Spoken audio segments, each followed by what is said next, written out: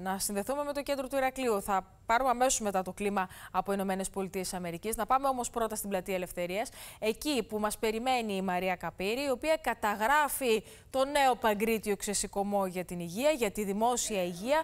Μαρία, καλησπέρα. Καλησπέρα Νικολέτα, καλησπέρα σε όλους και όλες. Είμαστε εδώ στην καρδιά του Ηρακλείου, λίγα μέτρα από την πλατεία Ελευθερίας, όπου σωματεία, συγγνώμη, όπου σωματεία και υγειονομικοί από όλη την Κρήτη έχουν γίνει μια γροθιά για την υγεία. Για μια υγεία, Νικολέτα, με ίση πρόσβαση σε όλους, σε όλους και όλες. Μαζί μας έχουμε τον πρόεδρο των εργαζομένων του Παγνή, τον κύριο Δημήτρη Βρύσαλη, ο οποίος θα μας πει δύο λόγια. Γεια σας, σήμερα είναι μια μεγάλη συγκέντρωση όλου του κριτικού λαού εδώ στο Ηράκλειο. Όλοι μαζί μια γροθιά δίνουμε μήνυμα στην κυβέρνηση, στο Υπουργείο, στην 7η Υγειονομική Περιφέρεια ότι τα μέτρα αυτά που φέρνει η κυβέρνηση στον χώρο της υγείας δεν θα περάσουν με τον αγώνα, την αντίσταση όλου του κριτικού λαού. Δίνουμε μήνυμα κλιμάκωσης των αγώνων το επόμενο διάστημα εφόσον η κυβέρνηση φέρει για συζήτηση θέμα συγχώνευση, κατάργηση κλινικών, ιδιωτικοποίηση, σύμπραξη με ιδιωτικές ασφαλιστικές εταιρείες είναι αιτία πολέμου και βεβαίως συνεχίζουμε με τη μεγάλη πανελλαδική απεργία στις 20 του Νοέμβρη δημόσιο ιδιωτικού τομέα. Σας ευχαριστούμε πάρα πολύ. Μαζί μας είναι και ο κύριος Βασίλης Κούδας, ψυχίατρος στο Παχνί. Καλησπέρα και από μένα. Ξέρουμε όλοι την κατάδια δυστυχώς που έχει φτάσει το, η δημόσια δωρεάν υγεία, δημόσια και δωρεάν πάλι ποτέ, τώρα πλέον δεν είναι δυστυχώς.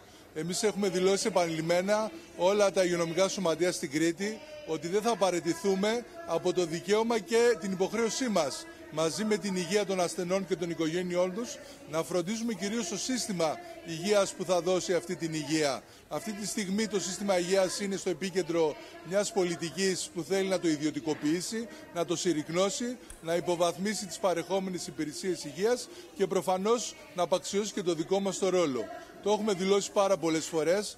Αυτή η συγκέντρωση τώρα είναι ένας ακόμα κρίκος στην αλυσίδα των κινητοποιήσεων που κάνουμε προκειμένου να υπερασπιστούμε τα όσα έχουν μείνει από αυτό το σύστημα υγείας, αλλά ακόμα περισσότερο να διεκδικήσουμε ένα σύστημα υγείας ενταγμένο και προσαρμοσμένο στις ολοένα και μεγαλύτερες ανάγκες. Οι ανάγκες είναι αυτές που κατά τη γνώμη μας πρέπει να καθορίσουν το τι σύστημα υγείας θα έχουμε. Όλοι ο κριτικός λαός ξέρει ότι οι ανάγκες καθημερινά αυξάνονται, γίνονται πιο απαιτητικές συνάνθρωποι μας χάνουν τη ζωή τους, χάνουν την υγειά τους, αναπηροποιούνται και αυτή η κυβέρνηση, όπως και οι προηγούμενες, για να μην είμαστε άδικοι, δεν έχουν στο, στο επίκεντρό τους τι ανάγκες των ανθρώπων, έχουν στο επίκεντρό τους κυβερνητικές και οικονομικές πολιτικές που συμφέρουν ιδιωτικές, ιδιωτικά κεφάλαια. Εμείς λέμε συνεχίζουμε, γι' αυτό και καλούμε και όλο τον κριτικό λαό να είναι σύμμαχοί μας.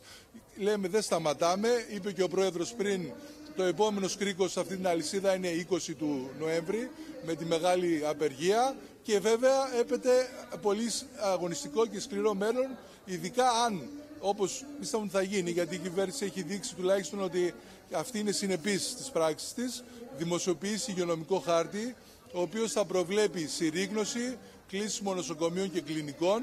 Τώρα έχουν φέρει στο επίκεντρο και θέματα που αφορούν στο Βενιζέλιο. Όπως υπόθηκε πριν, αυτό είναι αιτία πολέμου, κάζους μπέλη και εμείς σε αυτόν τον πόλεμο θα είμαστε εκεί ετοιμοπόλεμοι. Mm Σας ευχαριστούμε πάρα πολύ. Λοιπόν, ακούσαμε να... Μαρία, τον κύριο Βρύσαλη και τον κύριο Κούδα και δώσε μας έτσι και λίγο το, το ρεπορτάζ. Ε, Φορείς και σωματεία από όλη την Κρήτη έχουν, ε, έχουν πει ναι στο, στο ραντεβού και είναι ήδη ε, εκεί λοιπόν συγκεντρωμένοι. Βλέπουμε και σχετικές ε, εικόνες όπως μας τις μεταφέρετε μαζί με το Στέλιο το Χανιωτάκη. Ναι, Μαρία. Ακριβώς, Νικολέτα. Στην πλατεία Ελευθερίας εδώ ο κόσμος είναι πάρα πολύ. Έχουν έρθει σωματεία και υγειονομικοί και από τα Χανιά και από τη Σιτία και από τον Άγιο Νικόλαο και είναι εδώ για να στηρίξουν το δημόσιο σύστημα υγείας. Να πούμε ότι τους υγειονομικούς στηρίζουν εκπαιδευτικοί, μέλη και εργαζόμενοι του ΚΕΘΕΑ, αλλά και μέλη σωματείων αγροτών και οικοδόμων. Όλοι οι φορείς λοιπόν της ε, Κρήτης έχουν ενώσει τη φωνή τους σήμερα για τον χώρο της υγείας, με το ραντεβού να έχει δοθεί στο κέντρο του Ηρακλείου. Βλέπουμε εικόνα, ρεπορτάζ από τη Μαρία την Καπύρη και εικόνα από το Στέλιο το Χανιωτάκη. Να σας ευχαριστήσουμε πολύ.